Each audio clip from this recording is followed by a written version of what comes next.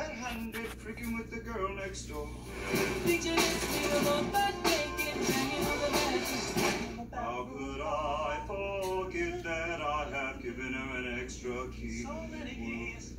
Oh, I'm going to access to your villa. I need to claim my youth and I'll be living over here. Just tell her it wasn't you. That's like really sage advice.